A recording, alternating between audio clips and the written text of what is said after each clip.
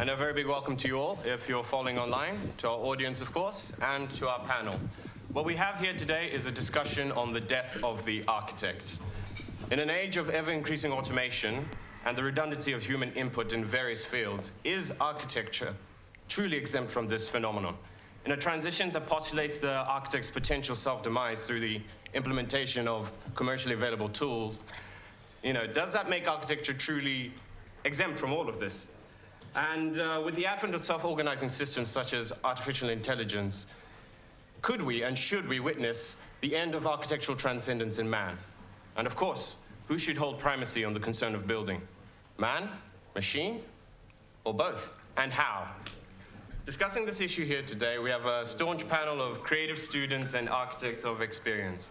We have uh, Director of Zaha Hadid Architects and uh, founder of the DRL, Patrik Schumacher.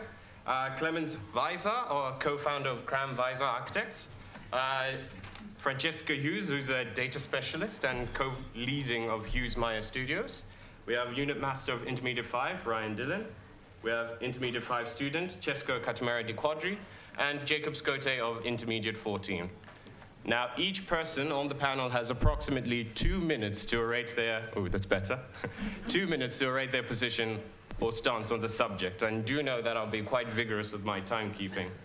Uh, this will then be followed by an open debate where any members of the audience, you, can participate by simply raising your hands and myself allowing you to speak.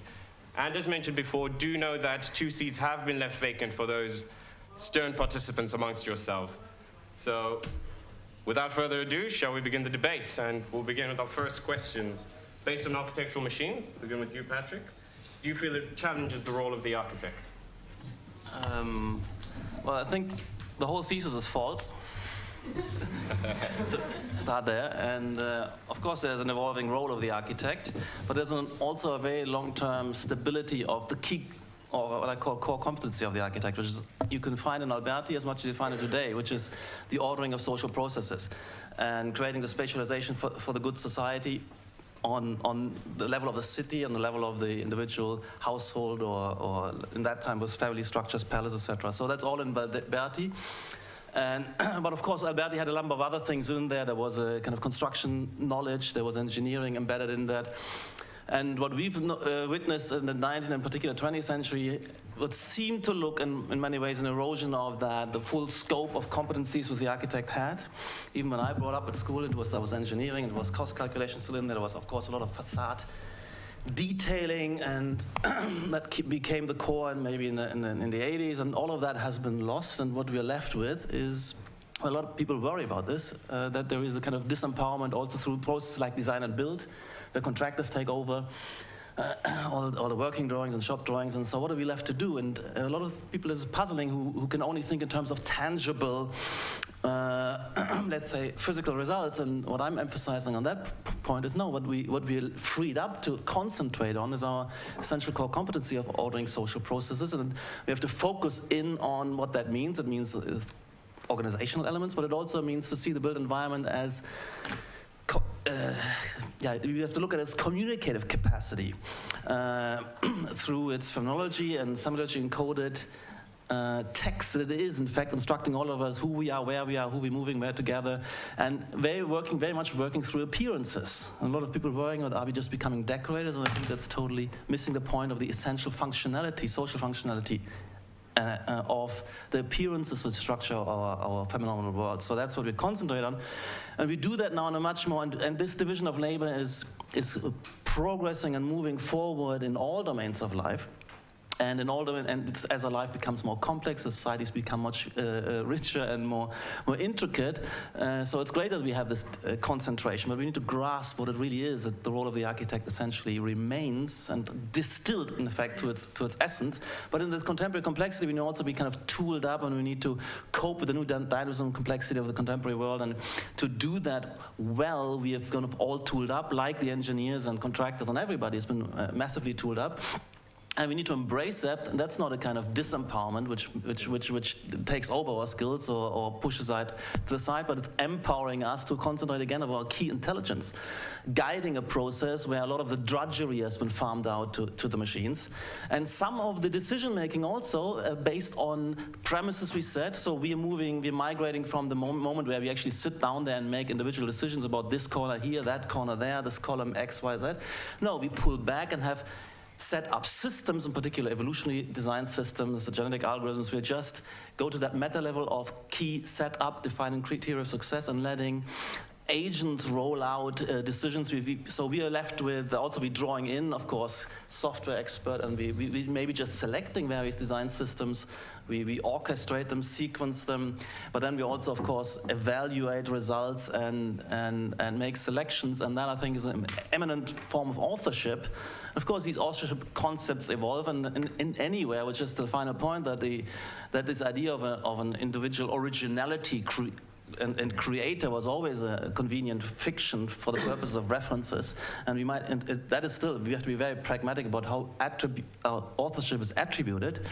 You know, uh, we have 20 uh, projects on sites. We've, we've, created 60 buildings in the world and, and oh, uh, several thousands designs. They, you know, they're attributed con for convenience sake to Zaha Hadid as a, as, an, as a point of reference for discourse. Doesn't mean that she created these in any meaningful, essentially essentialized sense. So that is another point I want to push. Oh, sorry, to, to conclude scrap that thesis and embrace the, the world of uh, artificial intelligence. Okay.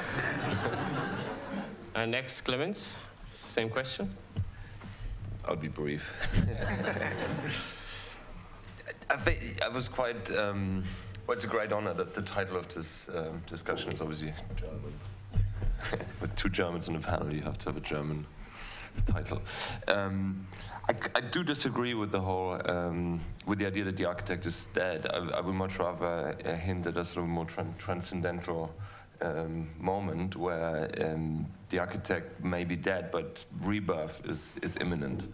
Um, but that rebirth may not be as what what architects used to be, um, but it has to be something different um, and something that that embraces the future rather than trying to hold on to what's left of the past.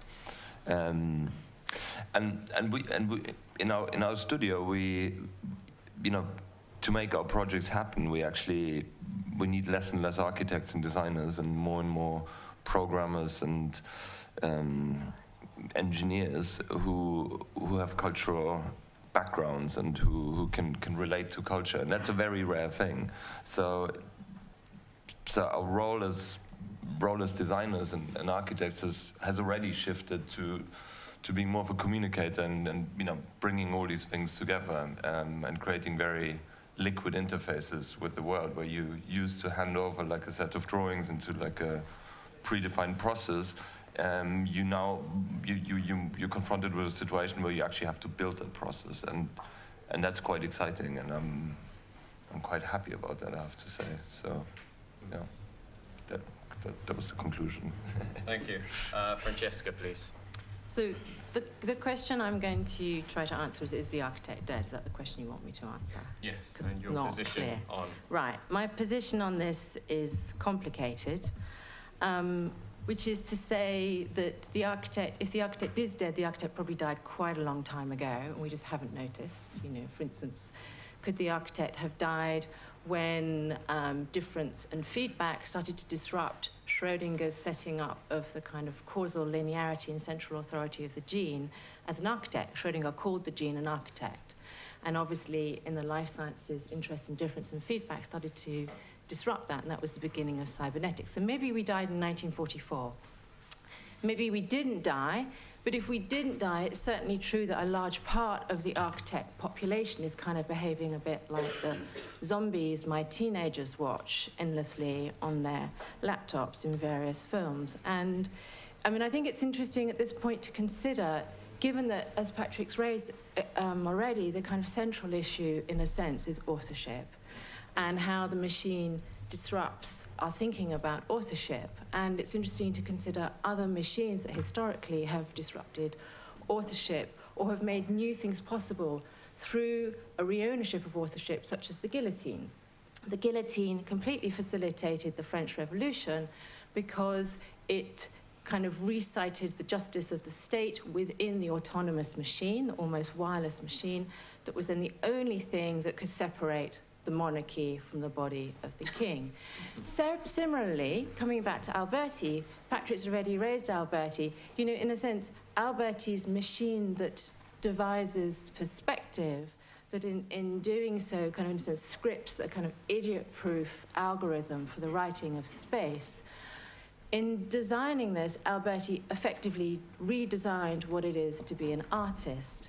Similarly, in 1962, Sutherland, in designing Sketchpad, redesigned what it is to be a designer. And Sutherland, quite literally, um, this is kind of in his words, in 62, talks about the designer not knowing at the beginning what he's going to do, working with the fullest cooperation of the computer throughout, so the computer's muscling in on the authorship, and solving the design step by step, one thing at a time. So that is the designer is redesigned as this thing, entity that starts to behave almost like Turing's tape, is only able to do one thing at a time, has no overview, and of course we know all these decisions the designer's making are going to be quantitative, not qualitative.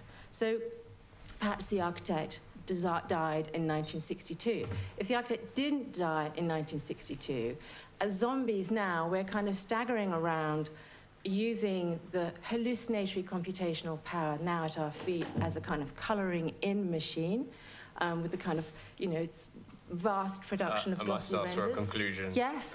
Um, and we're doing various other things as zombies. Perhaps we can come to that later. So, in conclusion, the only way we can reinvent ourselves or re- be reborn is to kind of understand the cultural prehistory of the machine we're now engaging with, is to understand it as a very, very old device that's probably killed us several times before. Thank you. Uh, Ryan? Okay. Um, well, I sort of feel, uh, I wonder what the hell is wrong with us as architects and why we always seem to want to commit suicide and kill off our own jobs.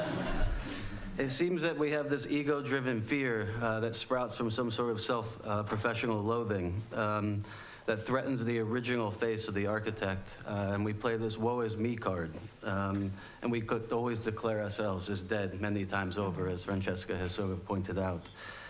However, I don't, underst- I don't ever foresee doctors sitting around the table, four doctors pondering this question is the doctor dead when they understand that, let's say, a robotic um, assisted surgery can improve our quality of life.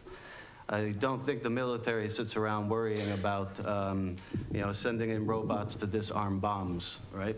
Um, that will also improve our quality of life. So they don't worry about this, of course, um, because as, as professionals, they understand that machines can improve our quality of life. So why, as architects, are we always aligning ourselves um, with people such as the unions and, the, um, for example, the London Underground, who fear that machines will take our jobs? Um, and they take a stance in unison. And why don't we take a stance in unison um, that, let's say, where machines can create better environments for us as human beings?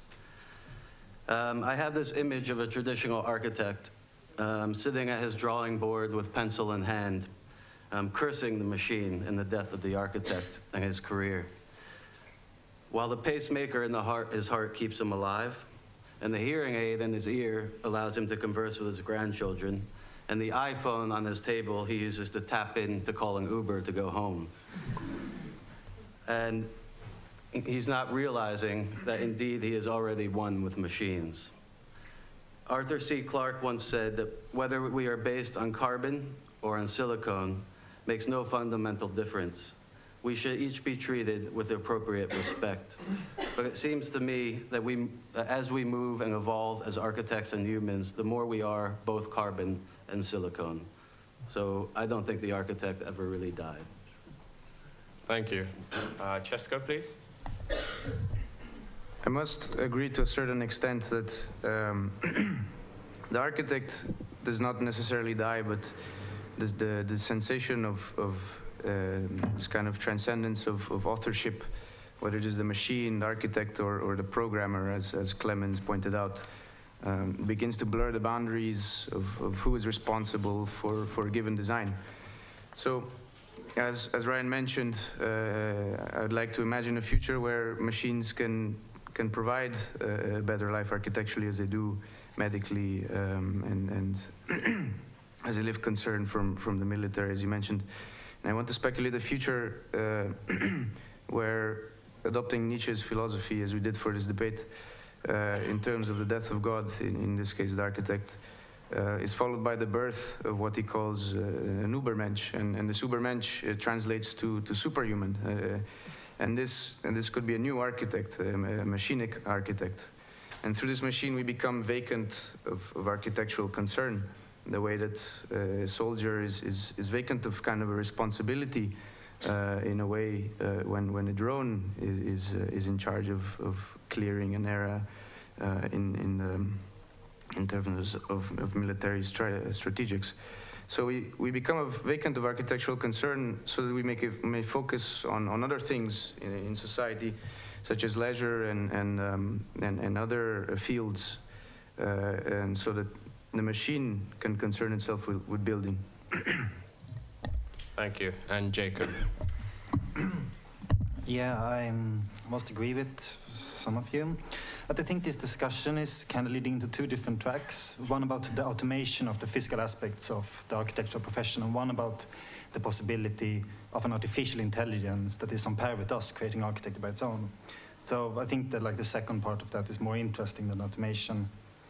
So like with the, the advent of a strong, solid AI, that of course implies that we don't have to do architecture, but like I, I don't need to do architecture now either. Like I could just leave that to you guys. Uh, like what I mean is that the perspective on the AI as replacing human functions is very human-centered. Like if AI is truly intelligent, we need to recognize it as another sentient being with a radically different perception of the world than we have. It's like the first child of humanity, and although your children might be similar to you, they will never see the world the same way as you do, and will definitely not replace you or kill you. And this poses a radical shift in our understanding of what intelligence is and what we are. And since AI doesn't necessarily embody something, it doesn't need to be contained in a body like we are. So that absence of the limitations of the body opens up for a completely different perception of the world, of us, and of architecture. So instead of fearing the threat of AI to our profession, or praising it as the replacement of our profession so, so that we can focus on this weird thing called leisure instead, um, we should be curious of what perspectives on us and the world which AI might give us. So to see AI as a tool for humankind is like really limiting for AI might be able to achieve and technically child labor. Instead, we should collab collaborate with this new being and work for better, like try to create better architecture together with it. So no, the architect is not dead, but a new kind of architect is born. Thank you. Uh, at this point now, the debate is open to the audience, so feel free to participate by just simply raising your hand.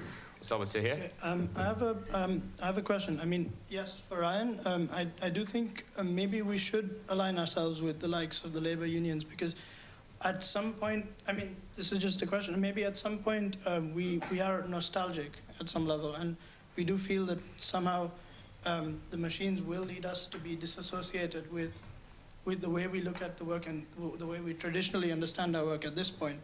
So how do we deal with that problem? That's one. And the second is, um, at what, um, when do the machines kind of dictate to us, or for the, the narrow AI, which already is in place today, which organizes our Facebook and Twitter feeds, it constantly is a tool to constantly make you consume more and more um, of itself. It's a self-perpetuating kind of um, feed that keeps keeps making you feed it. So who decides um, what's um, what is to be what is leisure? Because I think for a lot of us now, um, leisure is essentially staying in bed at 4 a.m. scrolling through that Facebook feed. I'm usually asleep at 4 a.m. um, I mean, I, I, wasn't implying that we should align ourselves with the unions, uh, absolutely not, um, if that's what it came across as. I think um, well, I, no, you want to, yeah. I mean, no, no, uh, I mean, the reason I, the reason I don't want to is because actually the unions inhibit um, what's possible. Um, Like, for instance, we don't have 24-hour tubes because of the unions, right? Um, So I think the unions are sort of at the root of a lot of the problems, right? So that's a different discussion. But, um, but in terms of like, uh, I'm not sure I fully understood the question in terms of your 4 a.m. Twitter feed and who controls that. But that's different than, let's say, the role of the architect within, within that, right? That allows us to open up a different kind of world, a different kind of communication, which I think is very important. Um, but I don't think that actually, uh, you know, it also helps that we can sort of have conversations with Patrik in a sort of very real-time way, right, or anybody else. Um, and I think that's also important because it gives us another platform to talk about architecture. Um, but in terms of sort of design, I don't think it, personally, don't think it really affects us um, it, unless it's about a platform to discuss. Um, but in terms of sort of, uh, let's say, robotics and or machines helping us design, I think it's already happening, and, and we don't need to unionize to uh, sort of keep it going. Yeah. Yeah. I mean, I think we have uh, never been less zombie-like than now. And I want to embrace this notion of Nietzsche's Superman, which means we are, I think, I mean, I'm subscribing to a sensibility not of nostalgia, but of an excitement and curiosity about the future potentials and the future openness of us as individuals, but the dynamic comes from social processes, and uh, that requires freedom to engage in of an entrepreneurship, and also I dislike the unions kind of trying to level this down and lock this down and, and, and stop that process. And if some of you uh, are worried about this, let, let those who are not show the way and, and, and experiment with, with, with, with new tools and engagements and, and, and let new creatures out into the world. There's also these interesting business organizations, decentralized or distributed aut autonomous business organizations operating on the, on, on, on the web. There still are authors of these structures and shareholders, and they, still need to integrate human uh, participants in, in, this, but there's a kind of self-driving engine behind this, and I, I, I, embrace this because because I'm, I'm curious about what else we can uh, create, and I'm also you know there are people who trailblazing this by augmenting their body into, into kind of semi-silicon structures, and so the, to hold us back by presumed uh, natural conditions is I think is not my sensibility.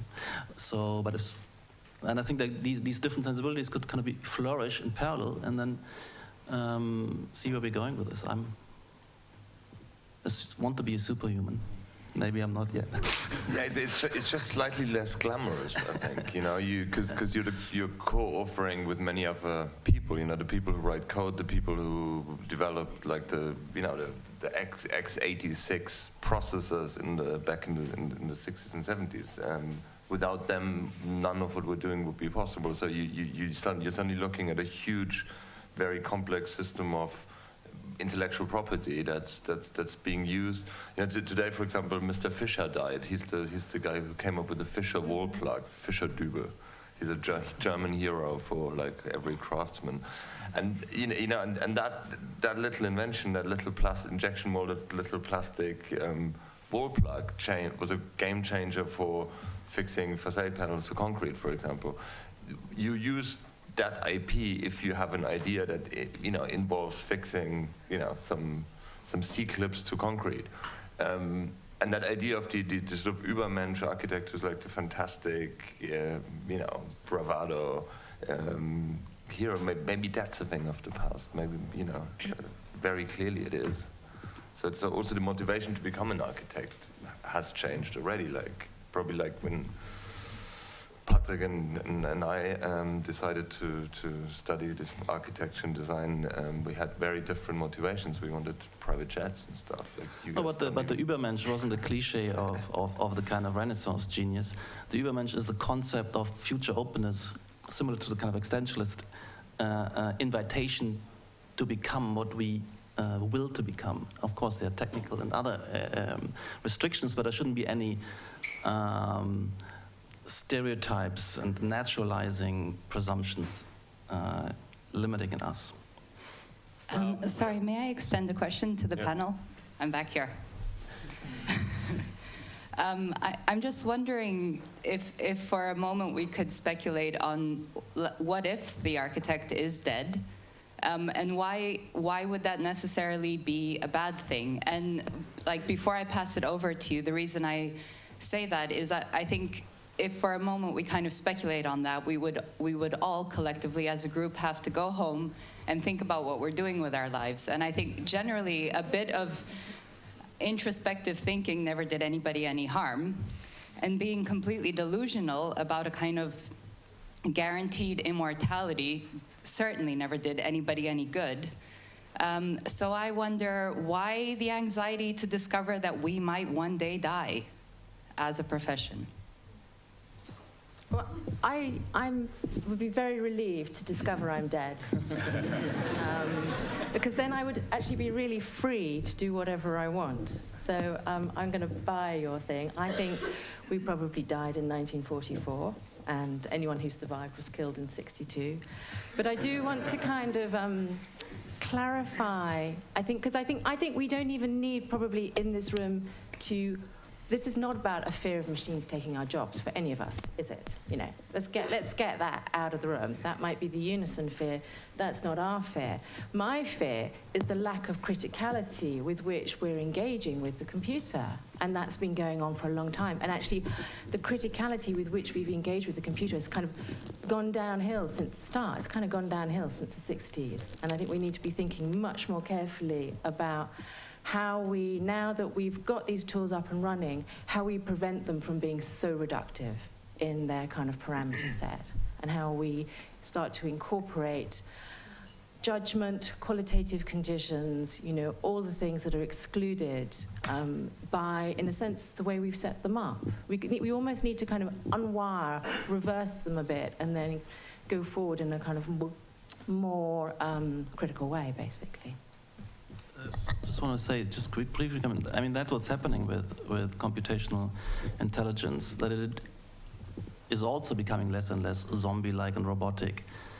And that's for some uh, scary, but we are ahead of the, the curve. Um, and so a lot of things which were maybe part of an intuitive grasp um, of a task and situation becomes possible, you know, more of soft intelligence can also be uh, emulated and brought operationalized through through uh, technologies. There's now computationally enhanced or uh, agent-based computational sociology, such so the humanities are, are not, um, you know, are now conquered by a lot of uh, artificial intelligence. And I have my own uh, research project where I'm trying to push that forward with respect to what I call parametric agent-based semiology. This is also something which was initially thought to be kind of humanities-based. And the same with, with, with issues of uh, you know, the perceptual capability, conspicuity, and legibility of environments. Even that, I think, starts to be amenable. So these machines become intelligent, more intelligent, and, and that's part of the, and of course we still have the human model um, the way we have also in other technologies, the, the, nature, the nature model through biomimetics, there's an enormous amount of richness and untapped resource and richness of, of solutions out there, which evolution generated, including cultural evolution and, and that game of catching up with the machines and empowering us is still on. And I don't see the, I mean, what happens if there's in, in 200 years, there's this kind of takeover worry, I find it uh, nearly ludicrous to now you know worry about this and, and stop that wonderful process in its tracks because there's some kind of I think um, speculation about about AI takeover. Can we have a question from the uh, gentleman in the white? Yeah in the white. oh, okay. Um, so my question would be that clearly, like the paradigm is shifting, like you know, from designing an object to nowadays being more contextual design. And as machines, like in parametric design, can solve many, like you know, real physical aspects of the place, giving us almost a perfect solution. You know, how treating any physical quality, light, sound, anything. Don't you think that the whole, like the whole reason for this debate is that mm, the just the scope of the architect's job is shifting from being a certain idea of a creator to a conductor of not only like environmental and guiding the machine, but also for a conductor of a rather much more human perception of the space, like atmospheric qualities of it, where like now we're being proven that as much as we can optimize the space to be a machine, living in it requires much more not of a human touch, but of a human special perception, and like you know working just like not not spiritually this would be a bad thing but like you know atmosphere would be a good word for it mm. so we're just becoming conductors and that's why like you know this whole debate of we're just changing the scope of what we do not really So you mean this is something that's not quantifiable in a sense? Yes, exactly. So machines, mm. advance of machines is always great, and like you know, the tool is amazing. Yeah, the architect now is becoming more and more responsible to creating a space where we, as humans, as species, can live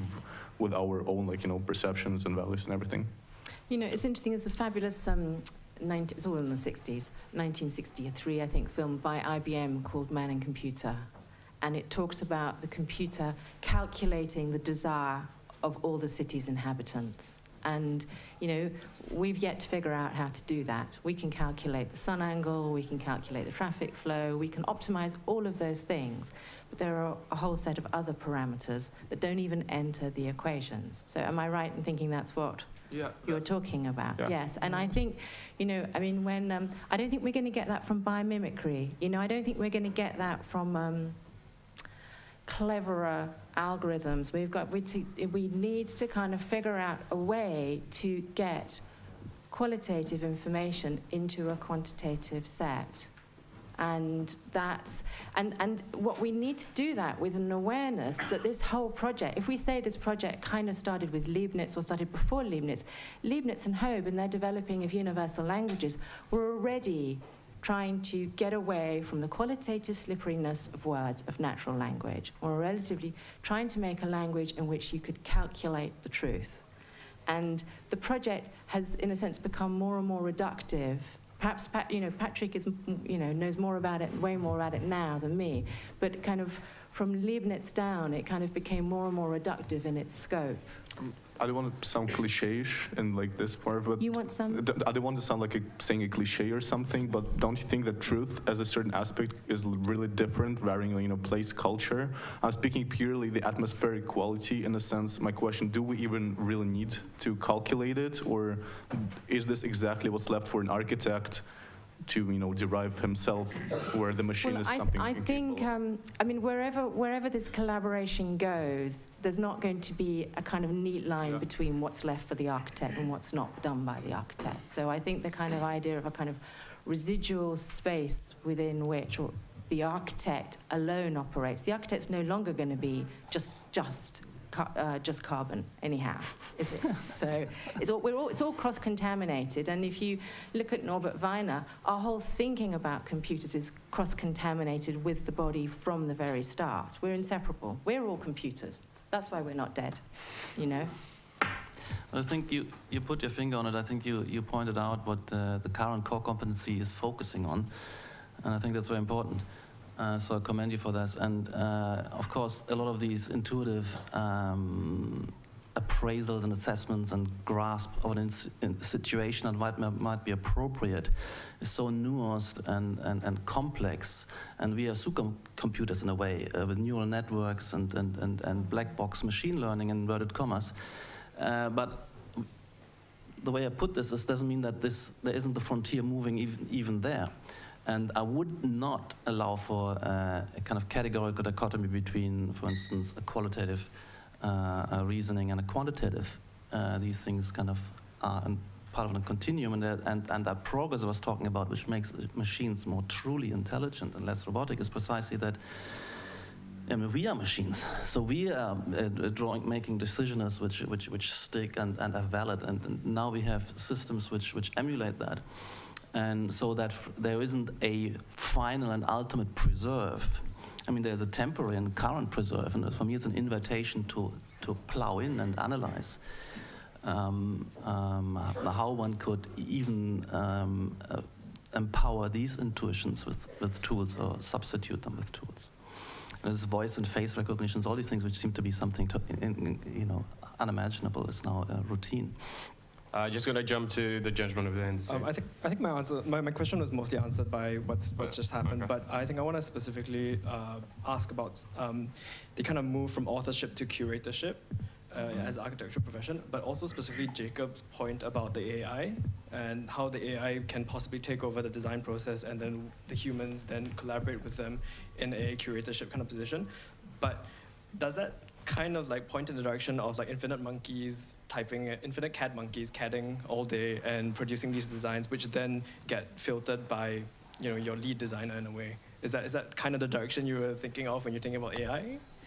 Uh, no, not at all. Uh, Rather the opposite. Like the AI as not a human being, but a sentient being on par with us, which have a completely different perspective on everything that we have. Obviously, since it can take any shape and form.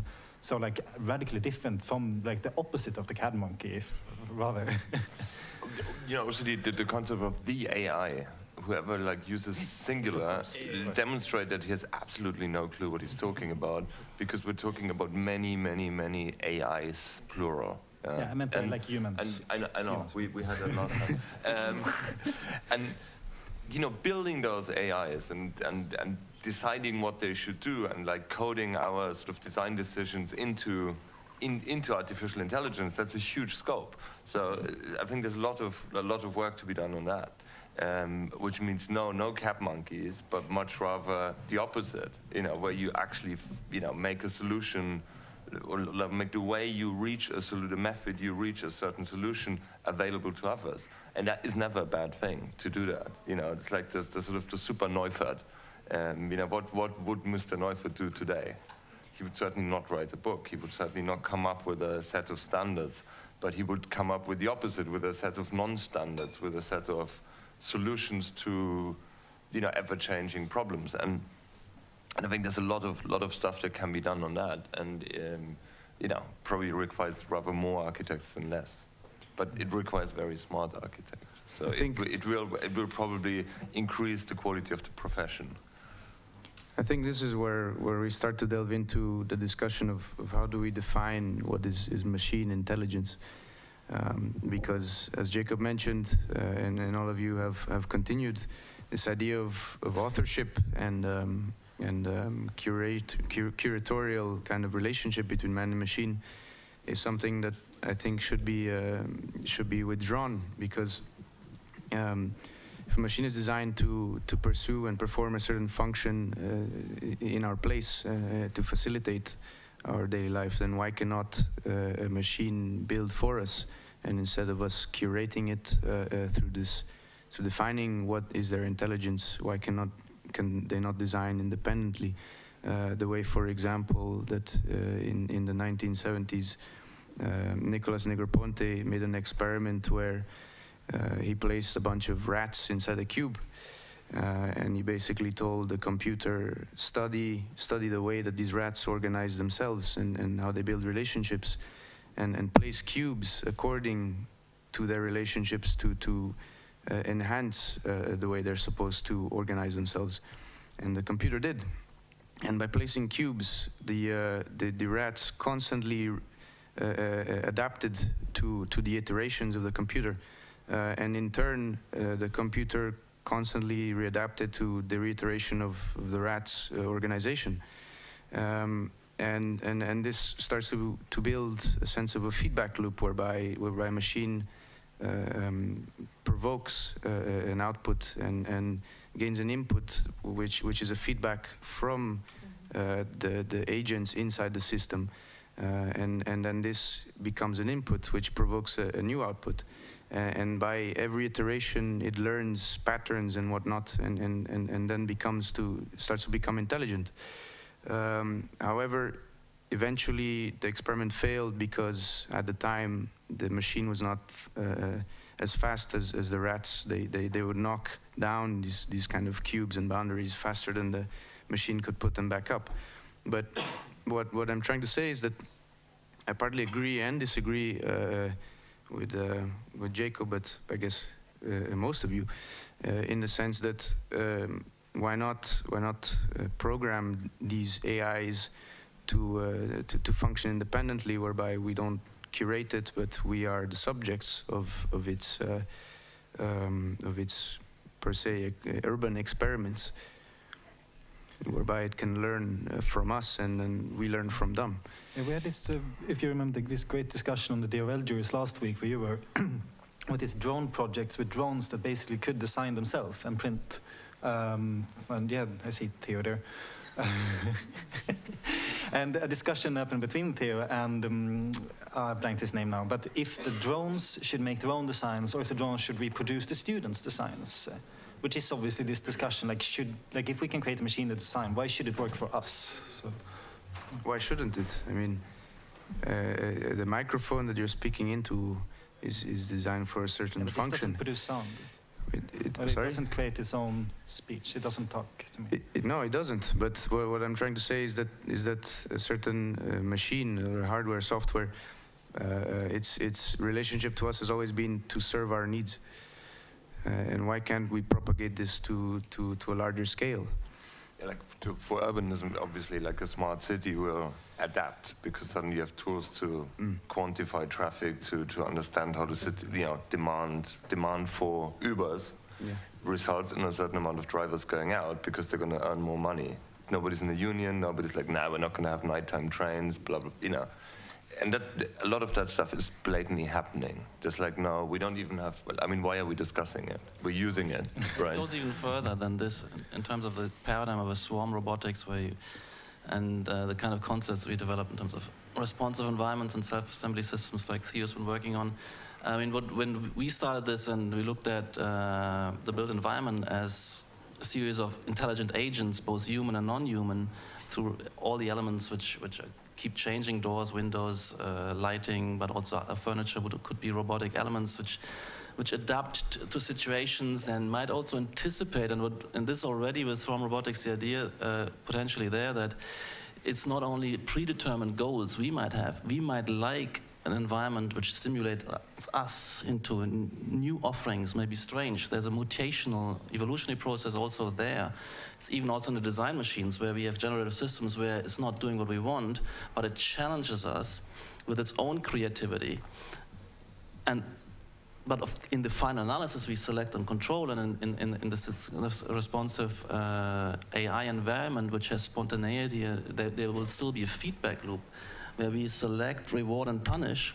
And ultimately, of course, it's human purposes which would guide that. And, and you wouldn't, you wouldn't um, include the machines in a kind of democratic process, most probably. But Why not?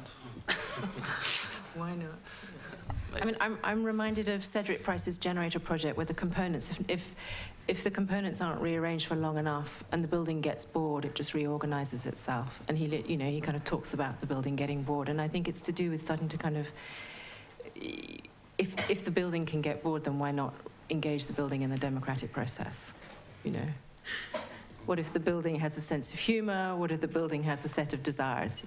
I mean, I think that one, one has to kind of follow through, extrude these logics through to their end ad absurdum, you know.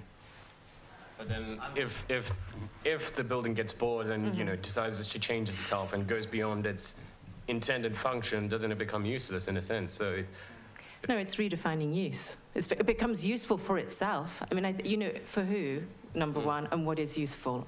You know, what is what is use? It's it's this is this is why I'm kind of saying all this. I mean, this is why it's actually very good to have this conversation because it's this is exactly the kind of mm. critical criticality that needs to be we need to be elaborating around these things. It's not about the architect being dead or not. It's about well what is use? What is function? What is boredom? What is pleasure? You know, what is, what is the brief? What is the program? What is material? What is, what is, the, what is it, the job of material to do anymore in this way? But I mean, I think it would Does be it have to stay in the place where we left it or where we want it to stay or mm. go when we want it to go? But then if we took, for example, a hospital that has a function of, you know, mm-hmm. saving lives, decides to just randomly change itself into a playground, you know, that's going to be pretty Then it goes to prison. Sorry? Then it goes to prison. I, I, like this idea that architects are suddenly concerned with post-occupancy. I mean, that's, that's definitely new. and uh, question from uh, Sahir? Um, I think um, one of the one of the main problems um, with involving a machine in a democratic process would be that um, I mean, like Negroponte's experiment, the machine follows a one-directional thought process, right? at least as far as we understand it today, it follows one directional thought process. And I think the problem is that it, the problem can be that it might, um, it might in, inhibit plurality in a way, and um, it might only force convergence. And I just simply reject this because I, am not a masochist. I mean, and giving true power to machines. And the gentleman with the glasses, no? It's been, it's been answered. Oh, okay. Yeah, I'm just coming like a bit not back, but like also elaborating on what was just said. Is that clearly this debate? Like, I mean, clearly maybe for me only, but like that's my point. And the idea is that the whole question right now is architect DAG becomes kind of philosophical in the sense that we're following, you know, the Nietzsche's kind of premise, and we decide that you know we're living in a like I don't want to go to material spirituality world, but you know we're living in a world where architecture can become one of the like you know sciences among engineering and physics, where eventually can everything be like you know put not in, in a computer but in an artificial in like an intelligence some sort of system server. That's then everything that was said basically means that yeah we can progress in that direction. But don't you think like that there's certain aspects uh, of of the profession uh, in itself and the idea of a creation which will never even potentially be you know anyhow you know, put in, a, in any sort of system which can give responses for us, and only us as human beings can will be able to, you know, make certain decisions on it. So for me, that can computer answer all the questions for you, or is it like you know, like not not right now, but like potentially in some distant future, or is it still a big part what's left is for us and to convey our own like you know thinking on it? That's the question. I don't think there's a technical limit, but there is this kind of philosophical limit of uh, the sense of subjectivity and, and empowerment uh, of, of uh, human members of society. And I don't think uh, it makes sense to invert, that would be really ad absurdum twisting uh, the idea of machine empowerment and even the point of superhuman to, to, to allow there to become that final alienation of the machine takeover. And I'm not worried about it, but also it's, it's not something I'm inviting. I can invite spontaneity, uh, which I'm finally in a, in a meta level still um, um, in charge of and controlling. Um, but on the other hand, I also want to say this, that the overall societal process is not under our control or anybody's control, and, and, and, and that I can live with, a kind of uh, systems dynamic of the overall societal process. But within that, there is, there is uh, entrepreneurial freedom and freedom to uh, of and that that is um, limited to human subjects who are driving this um, and doesn't include the machines. Yeah, and I would uh, like to add that I think that uh, philosophical limit is quite human-centered, and like of course the computer will never be able to adhere to all our needs because they are like beyond quantification, but it might be able to adhere to all its own needs, and we have no idea what those needs might be. So we need to like open up that scope and like remove, not only focus on this kind of uh, idea of um, of an I, or to open up for like wider extensions of what us means. But why would you why would you want to design a computer where you'd have to cater for it? exactly. because it would be, imagine having a conversation with a being that doesn't have a body. I think that's a very interesting conversation. It's very interesting, but it's not not necessarily a necessity for our life as human beings, is it? Uh, no, but nothing is a necessity, is it? True. well the necessity is that whatever we do should be life enhancing and freedom enhancing mm. and emancipatory. Uh, so I'm not desiring the kind of uh, uh, enslavement th through machines. but of course, it could be great, intelligent, spontaneous machines which I have conversation with, and this is fulfilling my ultimate and final purpose, and even allowing the machine to let me find purposes. I mean, I've, i accept that. We already do that with, with, with certain generative systems as designers but not the final takeover and enslavement of my purposes and, and, and uh, back to you.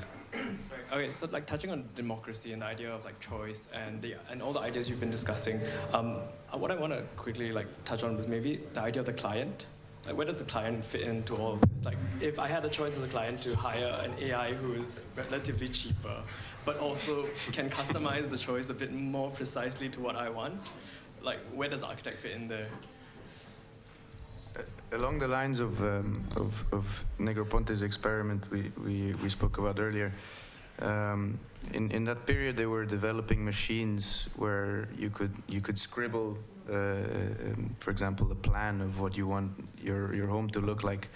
Uh, you'd, you'd insert this inside the machine and the machine would, would um, kind of quantitatively uh, analyze the relationships between the spaces that you, you, you sketched uh, and it would spit out uh, numerous kind of um, you'd be spoiled for options for, for what kind of um, output or, or, what you would what you'd like to build uh, as a client in that sense.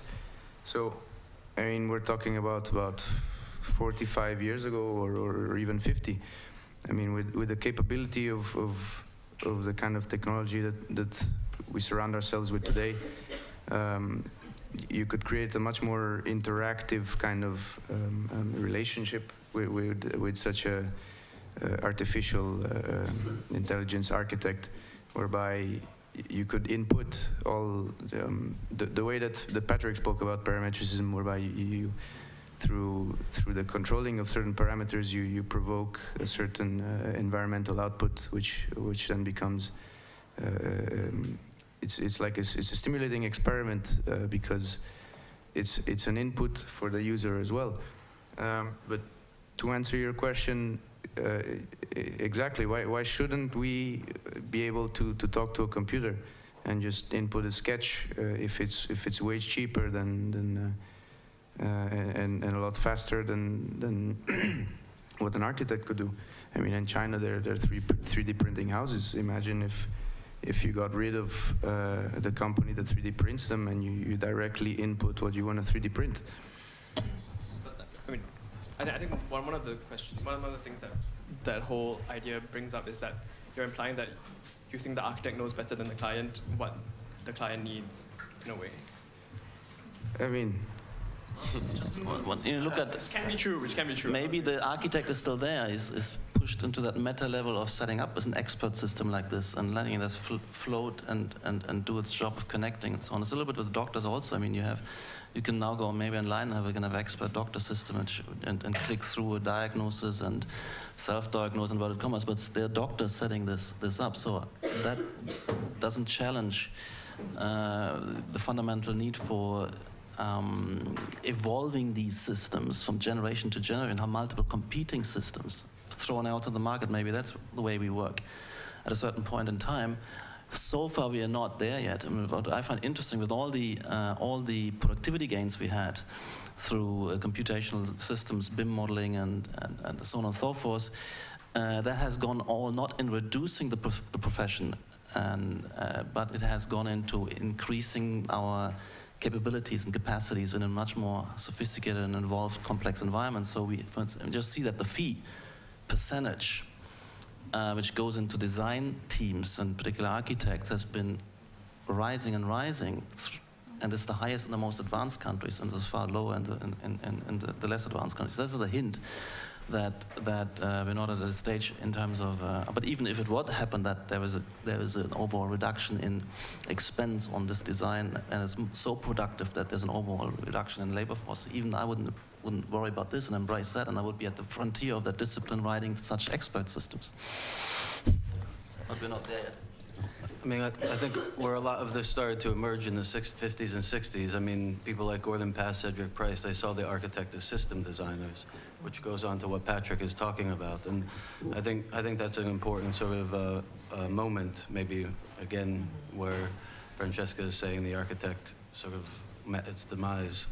Um, I, I, think it's still the same today in terms of how we can approach this. I also think as part of that, why you wouldn't want just the sort of architect or just the AI is, is the process that the two work together with, right? So you know, much like uh, we make mistakes when we do inputs, and those mistakes sometimes lead to something that's quite exciting that we weren't expecting, and the feedback we get from the computer is something uh, that puts, puts us in a different direction. And sometimes the computer works on glitches and makes mistakes as well, and that leads to other places. And I think that symbiosis between the two working together is actually kind of where we're at within the process. I think that, oh, sorry, I'm here. I'm here. Go on. So maybe the problem is with the control. Actually, the, the main problem is that we are now thinking that the, the, the whole architecture like profession is changing and the whole uh, building um, profession is changing changing and that's uh, we are losing control and that's why we're starting to think about uh, that we are dead or we're alive still because we want to control machines and they like they are expanding and they are moving forward and we are not uh, fast enough after them. So maybe that's the main problem why we're discussing this today. We're trying to find the solutions how we can control all this.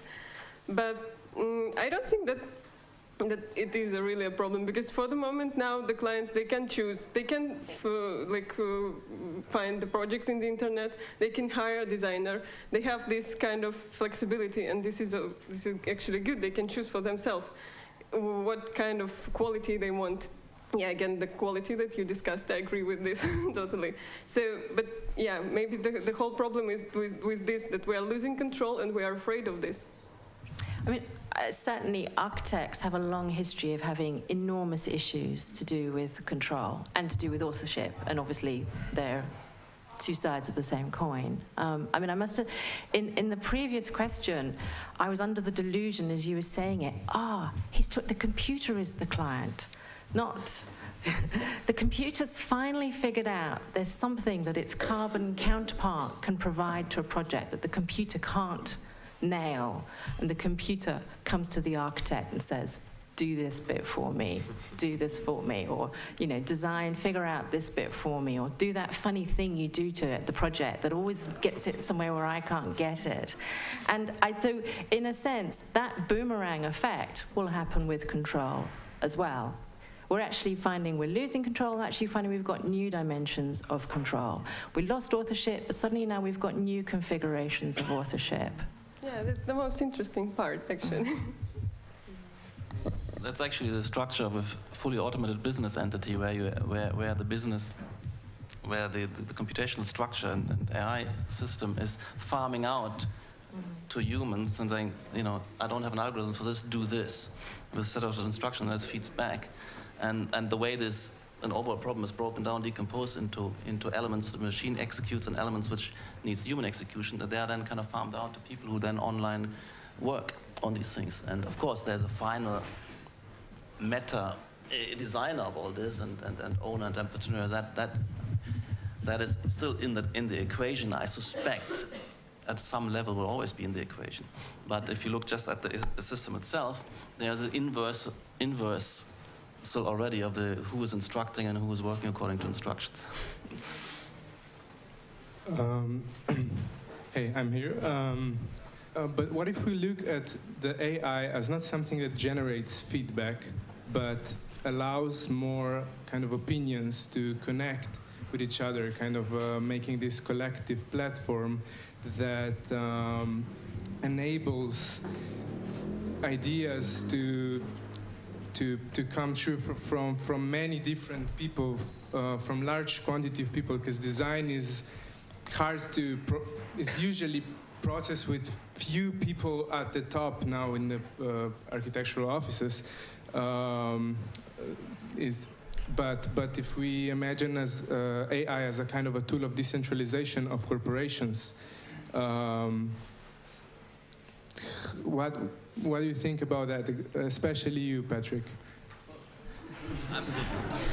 I mean, I don't know if that's a, a real situation at the moment and, and, in front of us. I mean, we have, of course, um, in larger projects, many stakeholders and participatory processes, which they, they're handled very much analog. Could be handled also through web interface and so on. But there are two references I want to give you where this has been kind of thought through and, and, and discussed. To some extent, uh, Christopher Alexander was one of the pioneers of bringing mathematics and, and, and computation into, into the discipline. Thought that he could substitute the expert designer with, with, with some kind of uh, empowering pattern language processes was meant to be self-design of communities through the systems of design. And there's another one his name is Horst Rittel, who was also at Berkeley, and, and, and I, he was at Stuttgart when I was a, a young student, uh, and a pioneer of uh, of computational processes, uh, you know, sorting out uh, briefs into into bubble diagrams. He created this kind of software, but he thought further, a kind of whole planning system which was meant to be participatory, very much like Gordon Pask, a kind of conversational system design, which was meant to be a participatory structures. I mean, there there are models like this worthwhile to look into, um, but I'm fascinated by them. They have not been implemented. Um, and where are you? There you are. I mean, what you're talking about already exists. It's called vernacular architecture. Okay, it's very old at one level. At another level, in a sense, what you're talking about is designed by big data. So it's like the design of Wikipedia, and it's, it's kind of a question of figuring out how that becomes kind of how that it finds a conduit to an architectural medium. wait, wait, um, wait, but Wikipedia is not big data. That's true. No, no, I, I know, but it's it, I know it's not big data, no. but, but it's designed by. What I have in mind is more as a like a, a, a kind of a voting platform. Um, for example, if we look at Google Vote, votes, um, they're making this um, voting platform there on Google Plus, uh, which um, kind of uh, works as a liquid democracy where you kind of uh, choose your representatives directly for a certain category of uh, the issue. Uh, or you can directly vote, but you only have one, one vo- vote, and uh, you can give your vote to someone who is more experienced um, than you. Um, but um, so I think because Wikipedia is not that it's not a voting it's not like a decision making platform. I'm I'm thinking as a like a kind of any production community um, in I think what, what you're trying to, to touch upon is the idea of open source, where where you can yeah, well, knowledge. If you decentralize uh, decentralize uh, decision making in corporations, then knowledge sooner or later becomes uh, centralized and open source. So decentralization of uh, uh, decision making, but centralization of knowledge. In in um, I think I, I think that's. Uh, I'm not scared of. I, I like the exact. I, think you're onto something very profound and, and beautiful. So, and I think this thought has been kind of developed a number of times. We had at DRL in, in around 2000. We had the idea of an autopoietic residential community where you had a lot of web-based.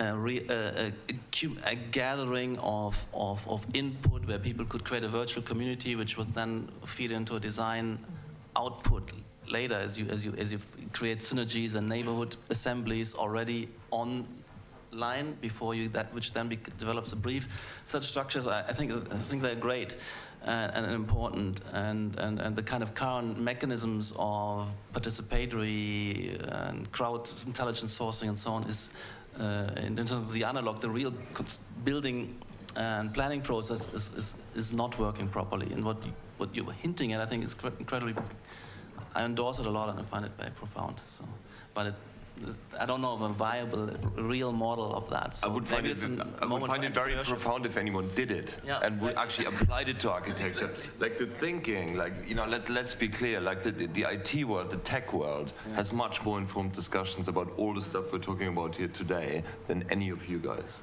Yeah, like the sociological aspects, the, even the smart city discussions, they're not being led by urbanists, they're not being led by architects, they're led by tech people.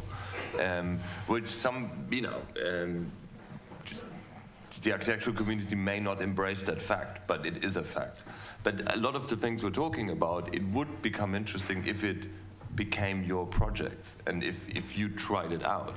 You know, like the, the whole post occupancy. Now you, you could monitor what happens in the built environment. You could monitor what happens after you leave as the architect. And you could think about mechanisms to actually improve a building after it's, it's built and used and opened.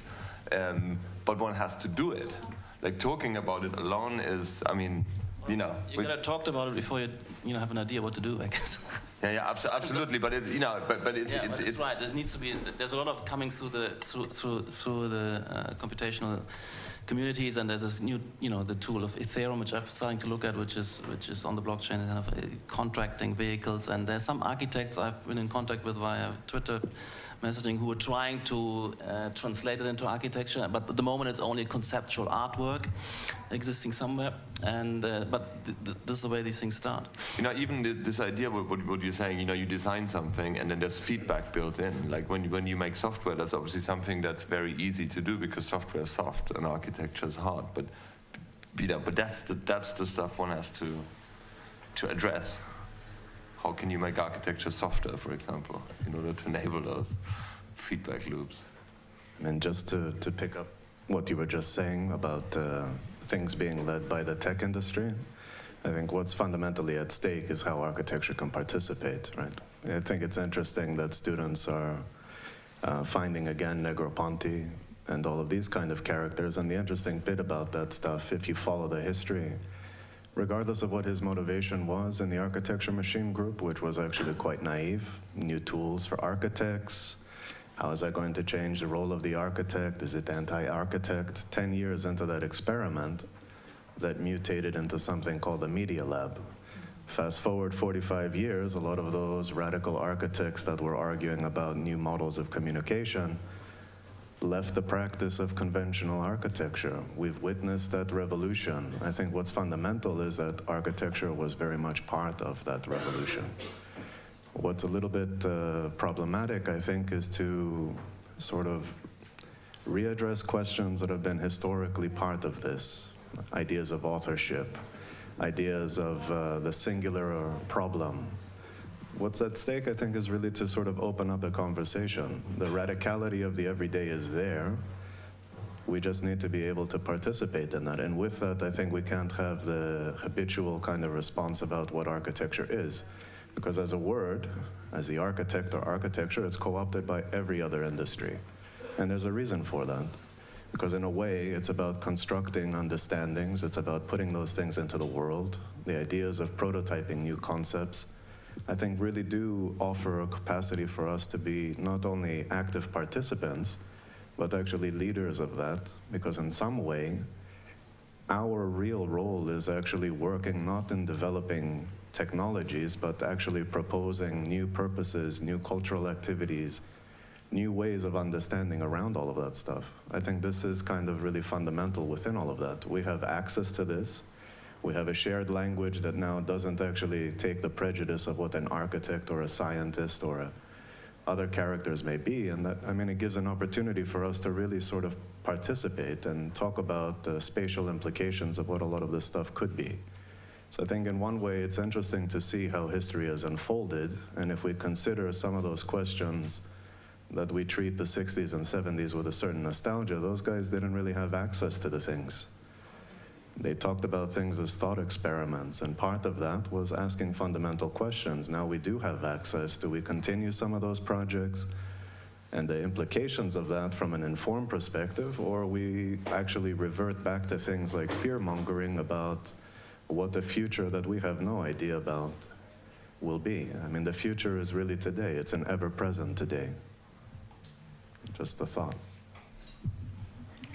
I have to say, I agree with the idea of participation, which actually links to uh, an email we received from one of our followers uh, in terms of how architecture they feel isn't really engaging in these issues. And it's from uh, Leo Gullbring, who's Swedish, and he says that, and again, in relation to machines, he says, are we not all, are we not already among the machines? If you look at the vast majority that is built today, it is built without any pretense of creating architecture. Architects are just cogs in the big machine driving glass monsters up in the sky as phallic symbols for high finance or pompous governments. Would the AI's architecture actually, one a minute, be any different if it's still directed by the real actors in society, the capital? So, anyone would like to take a pop at that? Uh, we don't need that anti-capitalist drivel. it's not helping. That sets us back into the worst part of the 70s. Um, I'd, I'd, like to respond to Theo rather than mm. Leo no, just now. Um, which is, I mean, this is an really interesting point that the term architect, architecture is co-opted by every other discipline. You know, the architect of the American election campaign or the architect of war, or even, you know, Schrodinger using architect. But what's interesting is that when we look at when other disciplines use the term architect, what they're using it for is they're using it for a kind of centralizing authority, some kind of centralizing figure that has an overview. Unfortunately, they're not using it for some kind of innovative, participatory kind of actor. Um, and I think, in a sense, we are in the prison of the metaphor that our name has kind of come to stand for.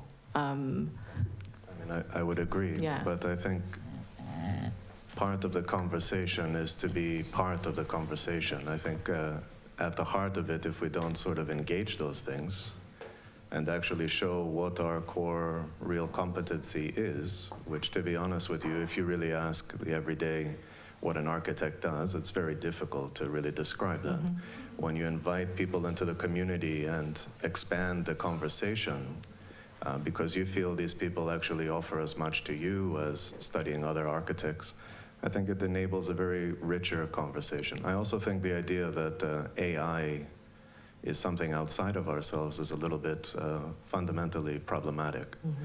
A big part of the idea of intelligence, particularly from those second order cyberneticians, was that it was not something that you attributed to a thing itself.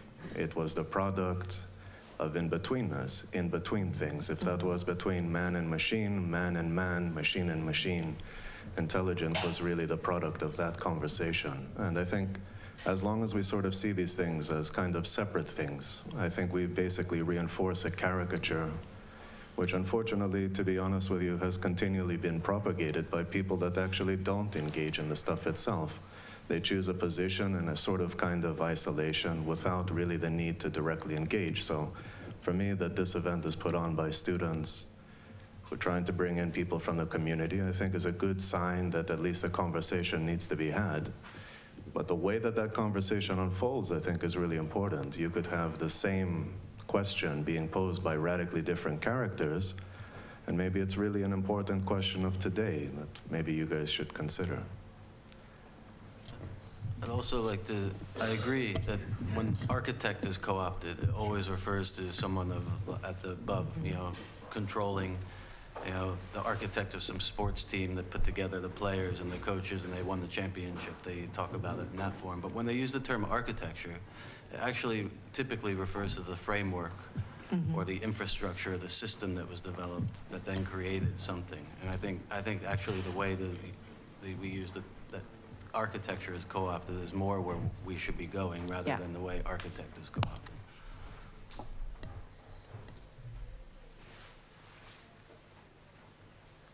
all that conversation about participation. Any other participants? Uh, could we get a microphone to them? Um, hi. I think what the issue is is that in terms of society as an architect, we was on the whole seen as the leaders. We always set forth what is viable, what direction we want to go. But since technology, I feel, since technology has and gone further, I think for us to go back to the ones that should be showing where we should be heading, we have then become stagnant. It's the reason why conversations like this are being had, um, whether we're dead or stagnant. I think the only way we are going to push forward is through embracing artificial intelligence, embracing technology.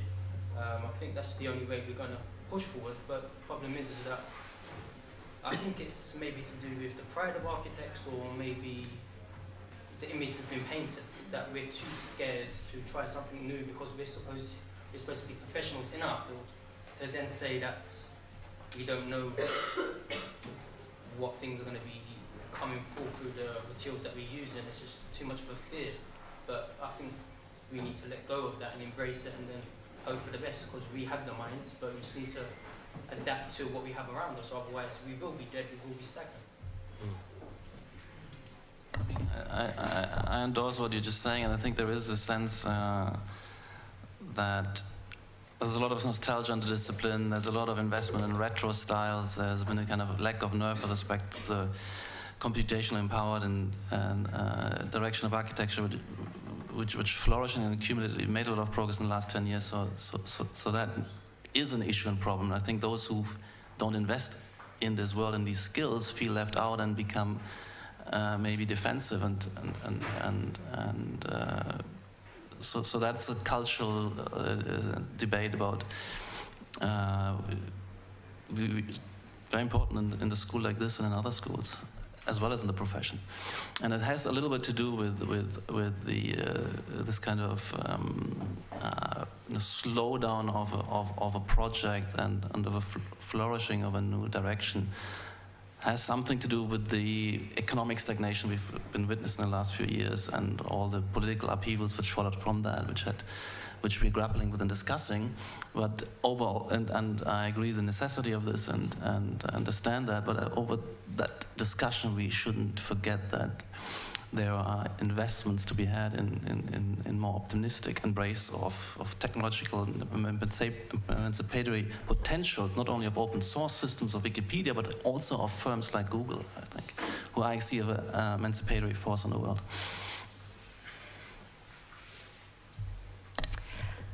I think um, it's also the, the kind of nostalgia. What, what's, in a sense, what's most concerning is an engagement with the computer that's completely shackled and hampered by a kind of nostalgic approach. And where this is most evident is actually in the use of com computers for representation is the use of the render. The role of the render right now is really worrying.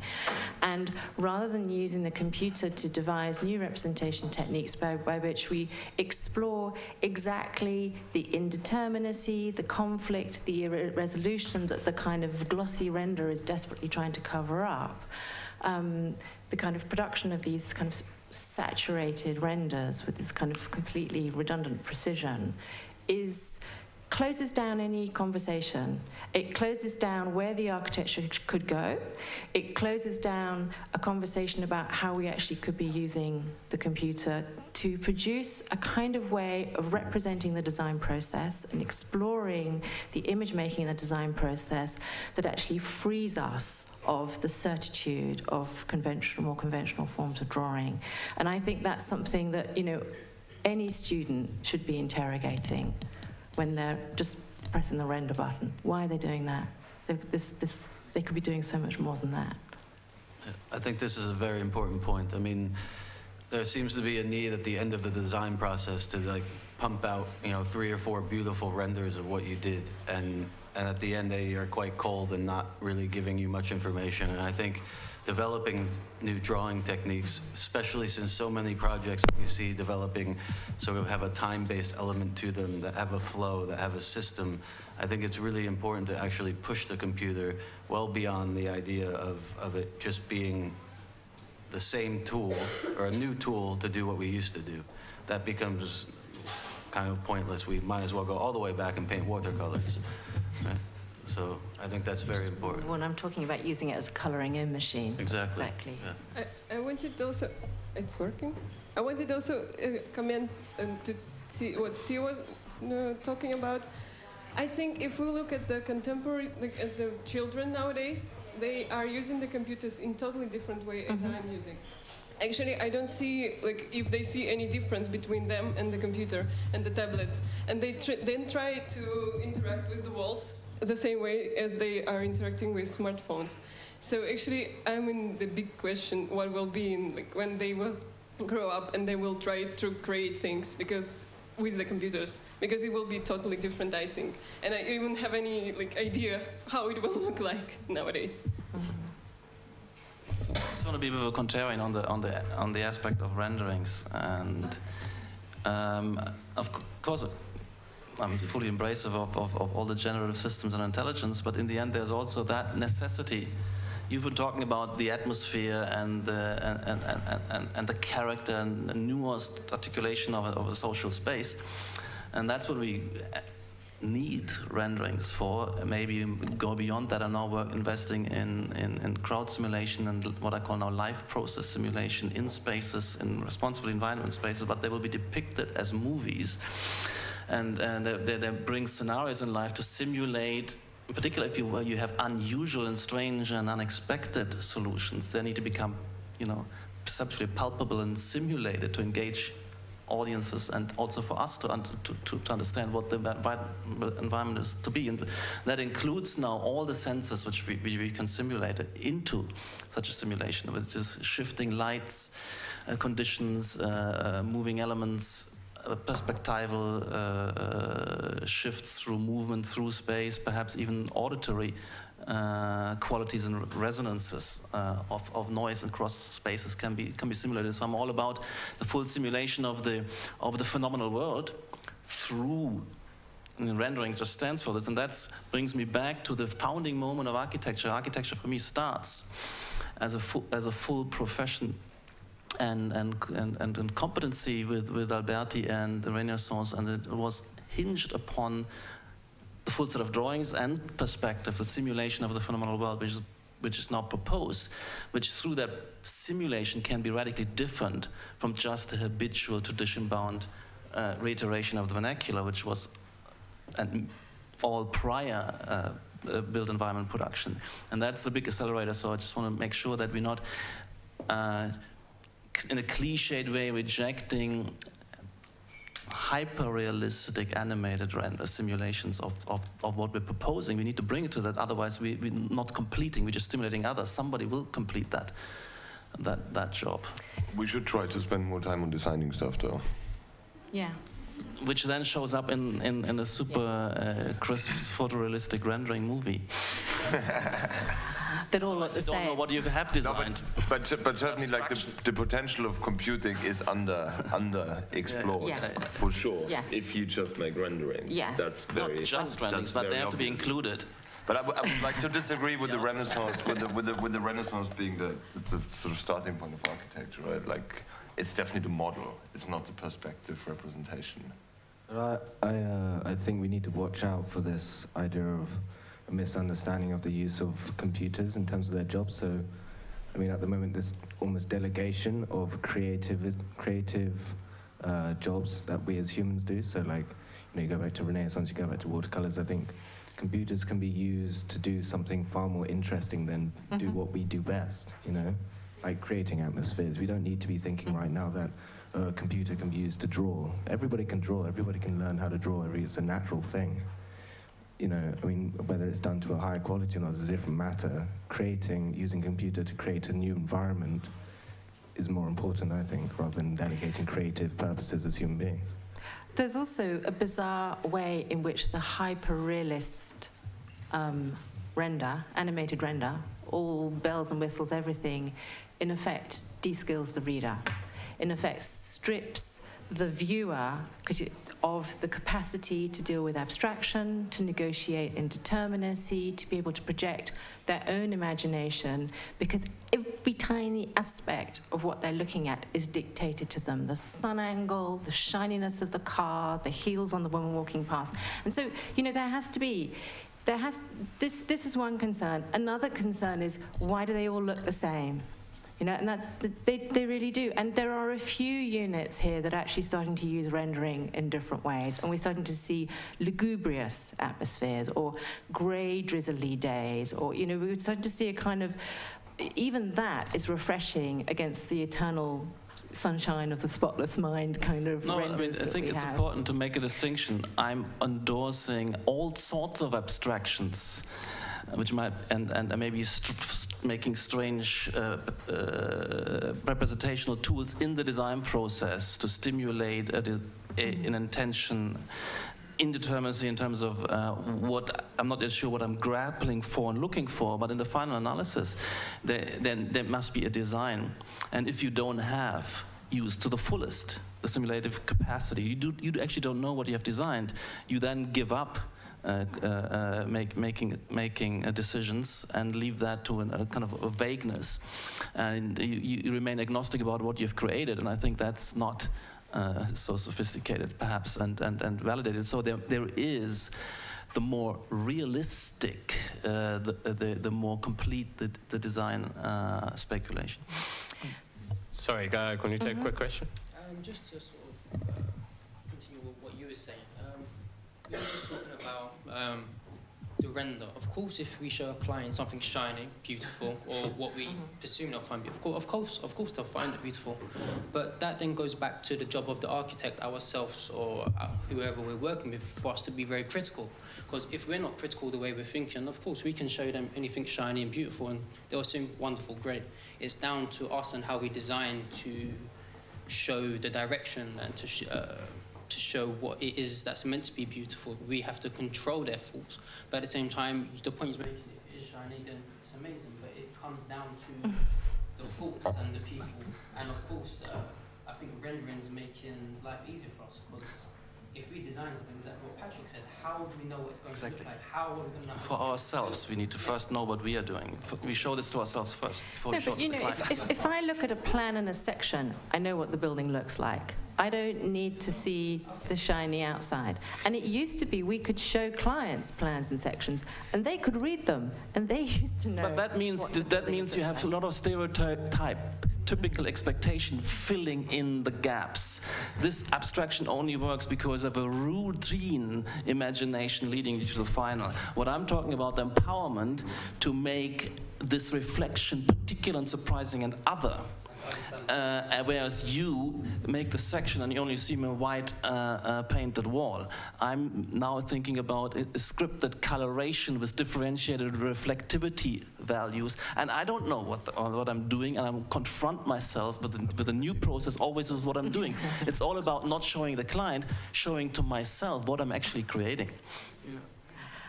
Well, who is it who is rating them points about control?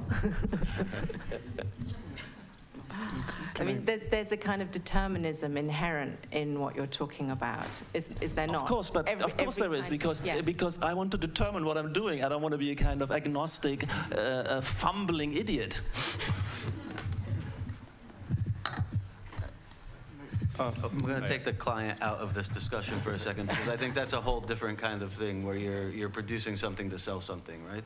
And to show them what you're trying to produce. I think when it comes to what Patrik is saying about understanding what it is you're creating, there's some there's some truth to that in my opinion. But at the same time, if we're not experimenting, and the term experimentation is really important for me in terms of how you experiment with the computer to potentially come up with new modes of representation.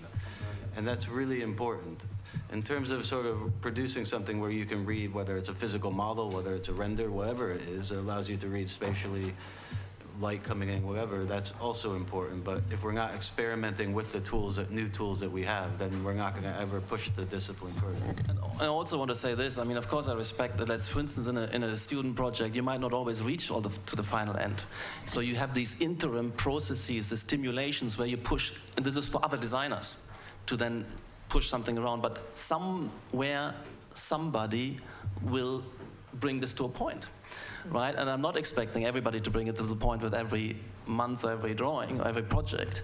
So I, a lot of projects are speculative, stimulative manifesto projects, which, which are leaving indeterminate. Mm-hmm. But it's also as a student, you don't really build this stuff. And you can maybe also experiment with the real world and, and turn your client into a vehicle of an experiment. He's suffering through, uh, and, and, and you expose him to the risk of failure. Even that has been happening. But, but I think uh, we can't kind of deny the, uh, the end game because that's the whole distinction between, um, um, you know, that's the whole acceleration of our culture that we can distinguish between representation and the built reality, right? In the old days, it was directly moving into the, you, you don't design in a simulative environment, you, you actually build in the real world, which was then very, very stereotypical and, and, and mimetic and, and slow moving. Whereas the empowerment for us is to, to, to, to design and uh, to the fullest and, uh, uh, in, in, in, in highly malleable computational simulations. And when we have thousands of those and we're roaming through them, moving through them, before we commit to a construction process which will, which will take five years and enormous resources, and then we should know what we're doing. I suspect it's a, it's a, it's a, it's a responsibility we have. Uh, Yeah. They are producing this, they are producing that. That we can sell. Like I'm doing the head haircut, I can sell it to the client. If I don't produce anything, I just do simulations. I can sell, I can't sell anyone because no one will understand what. I'm Exactly, exactly. I think it's also incredibly important that uh, that that that innovative thrust, which this uh, that innovation, innovative capacity, which this representational sophistication allows for, because you have to convince many stakeholders, uh, investors, people, to to to buy into a, a multi-year.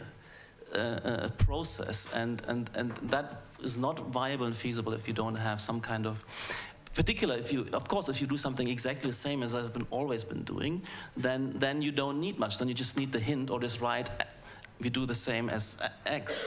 But if with all the amount of innovation every project now is an opportunity to make radically new proposals and and, and, and conditions and so on.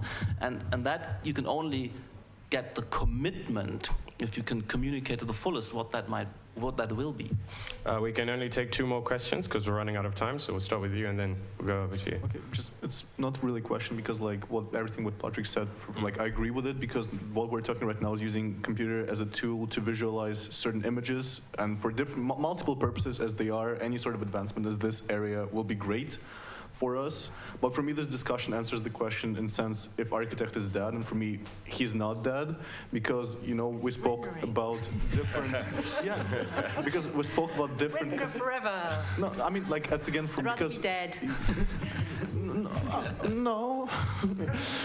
but the idea is correct me if I'm wrong, is that we spoke all along that you know we're creating something, and if architecture would be like you know a plain field, like wide axis where we could put something, then yes, probably we could put as many you know computer simulations as we can.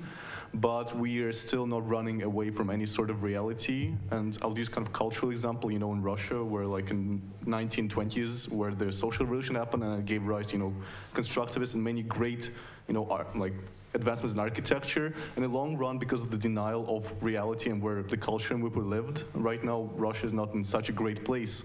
So for me, architect is like you know someone who will still is a very clear link to the reality in which we live in without you know going to this high worlds of you know computer simulations or abstract thinking which is also should be definite part of a job. So yeah I mean, but I think that what is what I, when you're talking about the Russian avant-garde I think it's important to realize that the discipline has developed a number of mechanisms which empowered it to to to be a great innovator of the built environment in co-evolution to the other innovations which happened. You know, development of the capitalist economy, the development of the sciences, the development of, of, of, of, of the state and its various phases of in, in, the democratic state. So these are, there are many, many innovative and, and, and fast accelerating historical processes with, which architect was participating in the invention of a full set of drawings where you can simulate, including perspective, was very important. And I think the, uh, but what also happened then in the 20th century, there is innovation accelerates further and you have a kind of the emergence of the distinction between avant-garde and mainstream between there's an avant-garde discourse fast forwarding speculative discourse of making uh, theoretical projects paper architecture in, in, drawing and abstract art. The, russian avant-garde is very important and, and then is a filtration and selection process of that what of that is then reality checked and pushed into reality. That's the second stage further stage and, and I think we have institutionalized that avant-garde process and I'm endorsing it. 100%. But uh, this avant-garde is only truly an avant-garde if there's a kind of follow-on and a manifestation later on. And it's been somehow driving and, and, and, and evolving out of the avant-garde social acting process into, the re into reality. And that's the process I think we are facing. And with something like the AA and Columbia University was, was, was incredibly avant-gardist and still is and, and, pushing research forward while we are trying to, for instance, study architecture to make that a built reality and, and, and, and it's on multiple scales. And that's very important. So I, I'm not denying the, um, um, you know, experimental representations, processes, uh, uh, uh, the, the, role of abstract art and ex art experiment in, in the developing a new repertoires. So that all needs to be there, but you know, to make that a reality, part of this is then to have a filtration and reality check process, which includes as compelling as possible uh, representation of what this reality might be for your own sake, first to know what you're doing, but also, of course, to, con to convince society at large uh, that you are, uh, know what you're doing and that investment in these never seen before uh, radical proposals is is is uh, you know uh, viable and uh, some people can take responsibility for that. I, I, would still recommend like the in between the V-Ray uh, tutorials, you you slip in a couple of processing tutorials because it will help you greatly. Also use computing beyond the visual effect of having a really fantastic morphing facade that can be milled by robots, right? Um, of course and that's also something the school has become famous for recently is that um, which is a big communication success but in the past the school has also been success, you know very successful in coming up with like unbuilt ideas that we still talk about today and that are becoming possible only now so that should also be the you know the scope of like coming up with what's what's in what's in 20 years and, um, uh, I would like. Maybe we don't need to render that because people, people they will laugh. You know. For experts. Uh, I would like to uh, go on with that thought because I was missing in the discussion the, the criticality of the word intelligent itself because we are talking always about artificial intelligence and what the computer give us but in fact it's a tool we told him to do that so there was always a guy behind it who told him calculate that and we get the numbers out of it. So in the end, when we're talking about intelligence, we're talking about us. So we are the, the part of the chain which never getting uh, less or like less power because we are the ones who are like interpreting the outcome of this pen. So we, are, we it's, it's like the discussion back in the days when like uh, from pencil to pen, it's like the pen is killing us in a way because it's getting better, but it's not. But Exactly what I was trying to explain with my kind of clumsy conversation about the guillotine is that the computer's not just a tool. Or it's not just a tool as we understand what a tool is, just as the guillotine is not just a machine like any other machine. It's, it's a game changer. And so I think at the end of the day, what comes out of the computer ultimately isn't just what we put into it. Or if it is what we just put into it, it's so transformed that to all intents and purposes, it's something else. Yeah, but the No, exactly. it's not bad or good. It just is what it is. Yeah. Yeah, but we, we interpret that. Exactly. Yeah. Exactly. Like when you see the, you know, if, if you've ever programmed a robot, yeah. it, you know, every time you see a robot move, it's not like, oh wow. It's like, oh my god, so much work, right? Mm. Um,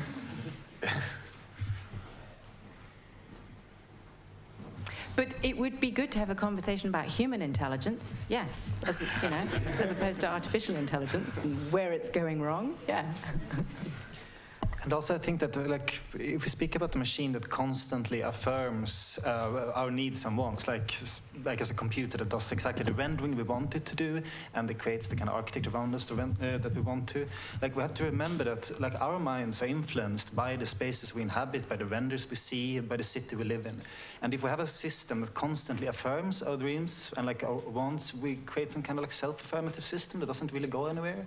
We need like the computers to not do what we want. And we need, I think it's really important to not do these super clear, crisp renders because they are completely based on some kind of mathematical logic that doesn't exist in our perception of, of a place, which you were talking about with atmosphere, which is what we can add to a place. And I think that like one of the problems with like that propagates a kind of like social and economical system that's based on the same kind of like mathematical logic as this comment from internet was in on. And when we have a so render where do you want to go with that? Where are you going with this? Back to the basics or no? I'm going non, further away, away from the limits of capitalist logic in renders. But that's not capitalism. I mean, that's progress, right? Um, uh, and and you know, you can you can abstract that and then ask whether other social system would have uh, enhancing the progressiveness of these technologies and you know, Marx was the greatest uh, embracer of, of, of, kind of Nietzschean's uh, drive to superhuman um, I'm not technological. Talking about Marx, like uh, no, no, no. Well, but, uh, let's see what. But your critique of the render, I take that. It just means we need to have the next stage. Yeah, we do, we do. But we also need to have, and I want to make a last plea, because obviously there's a major render lobby here, but a last plea for a more complex relationship between the drawing and the building and for a higher um, expectation of the kind of literacy of the audience of the drawing. You know that that actually we're complicated readers, and when I read a novel, I don't need the whole thing spelt out to me. I don't want the whole thing spelt out to me. You know, I don't want every tiny aspect of of its kind of you know its characterization or whatever wholly determined and i this is you know i think that this, when I, what becomes very problematic is that when we see a project and you see the grasshopper tree and you see the render and you see nothing else, you see no other representational exploration of the various complex relations that have made up those two things. And we do need to find other supplementary to the render, um, spatialization, spa representation techniques that explore everything in a sense that the render doesn't explore, that the render kind of closes no, down. endorsing on. it is in terms of supplementarity and particular process oriented, and also in the final analysis, various analytics of what we're proposing is not just the phenomenology, the phenomenology uh, of, of the built environment should be kind of simulating, but we should also endorse that, but then there's lots of other things we endorse. That's why I'm, for instance, bringing what does it mean for crowd interaction? So we, we, we, run crowd simulations in, into, into these systems and, and, and, spaces.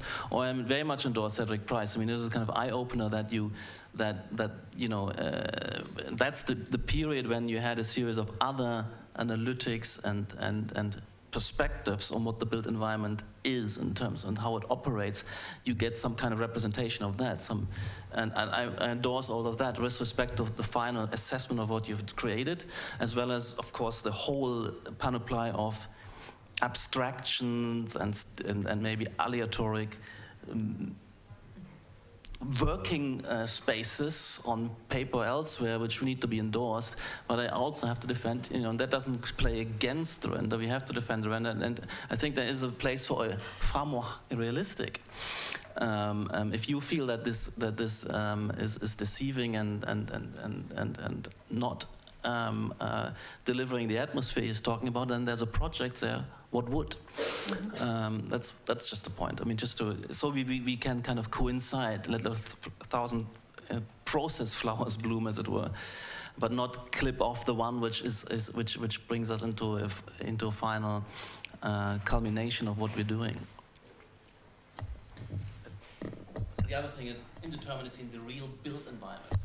That's what I endorse too. Yeah, we can and render that. It, in, and there's a kind of concept of an area to where the meaning of what you're doing, where you want this to not be stereotyping and routinizing life process, but it wants to stir it um, um, um, and, and unsettle it. Mm -hmm. And uh, I think that again, you, you can you need to simulate somehow to, to yeah. know that you are not falling back into routines with this. Mm -hmm. And and you know, create an unsettling and, and ambiguous render representing an unsettling and hopefully ambiguous uh, built environment if that's what certain spaces call for and require. And I think there is a case where, where, where, where, a lot of corporations and we in our lives want to be pushed out of our stereotypical routines. And that, that's an built environment which is, which is creative in, in terms of a machine of innovation, a little bit like the like we were talking about a, a robotic, a swarm robotics, which is also challenging us not only doing what we thought we want to do because our imagination is always maybe uh, too limited to,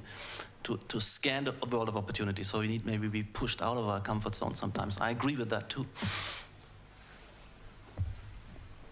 I think it's quite interesting in terms of the render when, when you talk about sort of, it tells the whole story where if you can produce a drawing that maybe leaves a little bit of interpretation for someone to read into, that draws in the viewer into it and allows their own interpretation and their own world to, that they can create by looking at the render. Um, I think I think that's also quite important to kind of uh, to think about as you produce drawings for your projects. Um, I think the talk since this is coming close to the end, it's quite interesting that we started out about the role of the architect and where we stand, and we ended up on rendering. and I think I think that might be a model for you guys to under, like, be quite um, fluid in how maybe the next talk might kind of continue that conversation. Um, and just one final point from my side, the term nostalgia was like the first question that came at us, um, and it came up a few other times. And it seems like at times there's a nostalgia um, from the current generation of students, nostalgic for our generation of education and how we were taught. Uh, an education that we've sort of, of calling for, of leaving behind a little bit in terms of how we work and how we uh, embrace kind of technology. And I um, encourage you to kind of embrace your current kind of situation and where you are uh, and, your, and how we work today. And I think that's really important as you guys go forward. Um, forget the nostalgia. I think that's a great point to end on. Unfortunately, that's all we have time for today. Uh, do join us actually on the 26th of February. Our next debate is uh, Joseph Grima versus Intermediate 14 on the Chicago. Sorry, 14, pardon me. 13. Yeah. Uh, on the Chicago Biennale. So do join us. The conversation will continue in the bar, so if you can, do join us. Thank you. That